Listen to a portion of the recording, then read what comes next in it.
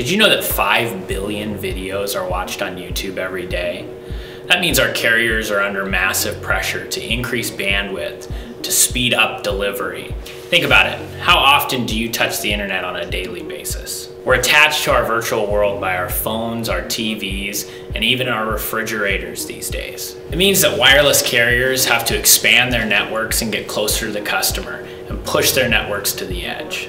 The demand for low latency from enterprise is driving carriers to think more creatively and restructure their networks in a way that they've never done before. Traditionally, we've designed infrastructure that increases port density at the core. In the next several months, you'll see products release that are increasing density at the edge. These products will help communication service providers improve spectrum efficiency and bring density closer to their customers. Our integrated solutions designed for Cloud RAN application are just one way Telect links complicated networks to a software-defined world. Telect is focused on improving its and increasing its fiber connectivity product line. We started several years ago by introducing our Super HD high density fiber distribution frame. It's targeted at the hyperscale market. At the core of the network, fiber counts keep increasing. The Super HD is ideal for that market, interconnect market, where it can accommodate up to 4,608 LC fiber terminations. Along with the focus on the core of the network with the Super HD, we've also focusing all the way to the edge of the network with our products. We've introduced and launched a new LGX compatible product line called our LTX. That LTX product line comes in 4RU, 2RU, 3RU, 1RU, uh, all the various uh, flavors, but its claim to fame is going to be high density. Uh, the 1RU panel can fit 72 fibers. Uh, why it does so well in the marketplace is because it's one rack unit with tray based that allows easy access, which is one of our also things that Telect pays attention to, access and cable management.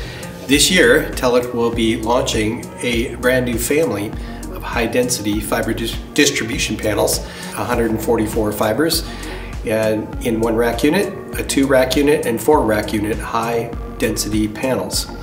Uh, that family of panels uh, is not only high density, but one of the things that Telect pays attention to in its product design is really focused on not density but cable management each tray will be have cable management links that uh, we have patented uh, formerly that provide exceptional management of that cable as you open and close the trays, uh, allowing for craft people to have rapid access, rapid circuit identification.